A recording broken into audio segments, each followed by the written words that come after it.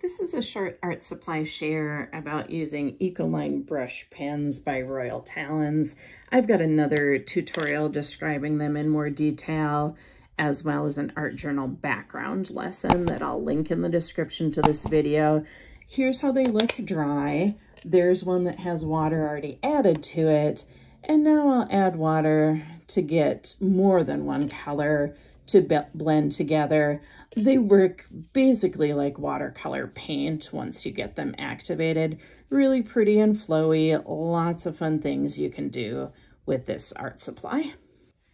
And here are some backgrounds that I've already done and have dried that could be used for different art journal or mixed media projects. They look like tie-dye.